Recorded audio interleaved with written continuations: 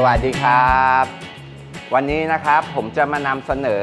เมนูขนมปังคลาสสิกบ้านๆนะครับ แต่รสชาติอินเตอร์นะครับ โดยผมนะครับจะมานำเสนอวิธีการใช้ไส้นะครับ ไส้คัสตาร์ดสำเร็จรูปนะครับ มี 2 รสชาตินะครับ วันนี้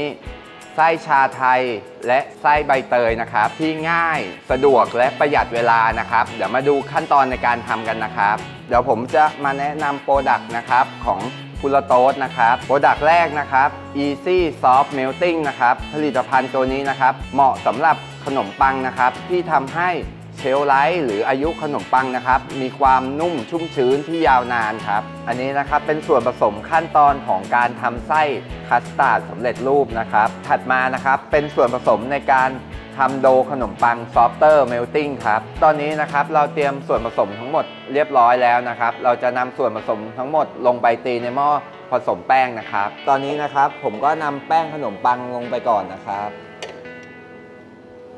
ถัดมานะครับ แป้งเค้กครับ พระเอกของเราในวันนี้ครับ Easy Softer Melting ครับปรุงรสด้วยน้ำตาลครับ เกลือครับ นมผงครับ สิ่งที่ขาดไม่ได้ในการทำขนมปังนะครับยีสต์นะครับ วันนี้ไขมันที่ผมเลือกนำมาใช้นะครับ เป็นเนยสดนะครับ ไข่ไก่ครับ ตอนนี้เราเทส่วนผสมทั้งหมดลงในหม้อผสมแล้วนะครับ ผมจะใช้เวลาในการตีนะครับ ความเร็วช้า 3 นาที ความเร็วเร็ว 7 นาทีนะครับ แล้วเดี๋ยวเราจะมาเช็คอุณหภูมิโดของเรานะครับ ไม่ให้เกิน 27 องศานะครับ เดี๋ยวเรามาดูการเช็คโดขนมปังของเรานะครับ ว่าขนมปังของเราเข้ากันดีแล้วนะครับ เราดึงแป้งของเขานะครับ ยืดดูนะครับ ถ้าบางเป็นฟิล์มแล้ว เราสามารถใช้งานได้แล้วนะครับ ตอนนี้นะครับ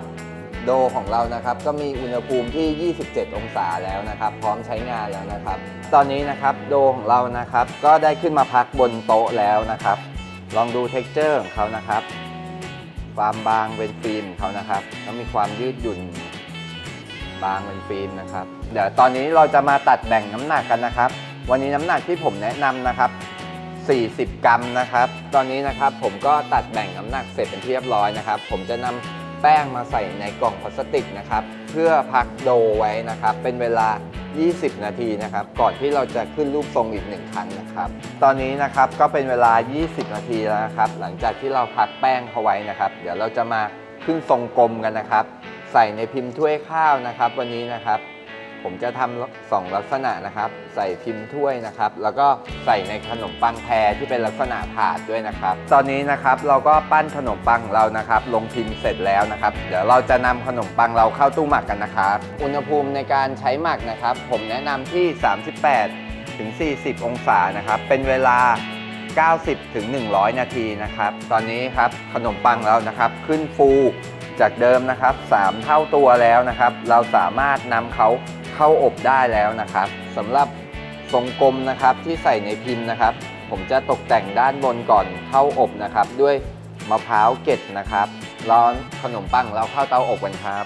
ไฟในวันนี้นะครับที่ผมแนะนำในการใช้นะครับ ไฟด้านบน 200 องศานะครับ ไฟด้านล่าง 190 องศานะครับสำหรับชิ้นเล็กนะครับเป็นเวลา 10 นาทีครับสำหรับชิ้นใหญ่นะครับเป็นเวลา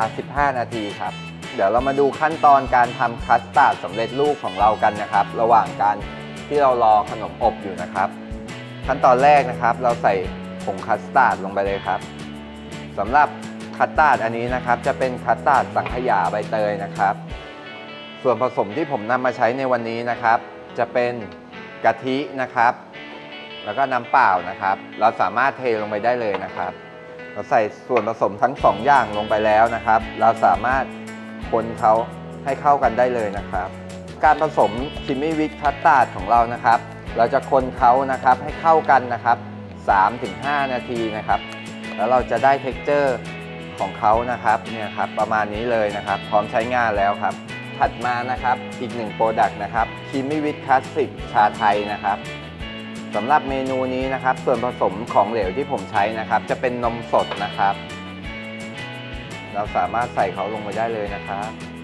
ทำเหมือนวิธีเดิมนะครับ เราค่อยๆคนเขานะครับ คนให้เข้ากันนะครับ3-5 นาทีนะครับ เราจะได้ texture ของตัวคัสตาร์ดสำเร็จรูปแล้วนะครับ ตอนนี้นะครับตัวคัสตาร์ดชาไทยของเรานะครับ ผมได้คนเขานะครับ3-5 นาทีนะครับ ตอนนี้ texture ของเขานะครับ ก็จะเนียนเข้ากันดีแล้วนะครับ พร้อมใช้งานแล้วนะครับ เป็นไงครับ สีสันน่ารับประทานไหมครับ ตอนนี้นะครับขนมปังของเรานะครับ ก็คลายตัวเย็นเป็นที่เรียบร้อยแล้วนะครับ เดี๋ยวเราจะนำตัวขนมปังที่มีมะพร้าวเกล็ดด้านบนนะครับ มาใส่ไส้ตัวสังขยาคัตตาร์ดของเรากันนะครับ เราทำการเจาะรูด้านบนเขาก่อนนะครับ ครับการใส่ไส้ที่แนะนำนะครับ ขนมปังเรานะครับ มีน้ำหนัก 40 กรัมนะครับ เราจะใส่ไส้ลงไปนะครับ ประมาณ 20 กรัมครับ สำหรับอีกหนึ่งเมนูนะครับ เมนูนี้นะครับผมจะนำไปใส่ไส้สังขยาชาไทยนะครับ ขนมปังแพรที่เราทำไว้นะครับ เราจะตัดเขานะครับ แล้วนำไปปิ้งอีกหนึ่งรอบนะครับ เพื่อเพิ่มความกรอบด้านนอกนะครับ เพื่อเพิ่ม t e x t อร์ให้มีความอร่อยน่ารับประทานมากขึ้นนะครับครับ หลังจากเรานำขนมปังของเราไปปิ้งแล้วนะครับ จะมีสีสันมากขึ้นจากเดิมนะครับ เพิ่มความน่ารับประทานจากเดิมขึ้นมานะครับ เดี๋ยวเราจะทำการผ่าตรงกลางครับ แล้วใส่ไส้เขาลงไปครับ ขนมปังเรานะครับมีน้ำหนัก 40 กรัมนะครับ ผมว่าจะใส่ไส้ลงไปนะครับ 20 กรัมนะครับ หรือมากกว่านั้นก็ได้นะครับ อยู่ที่ความชอบของลูกค้าเลยนะครับ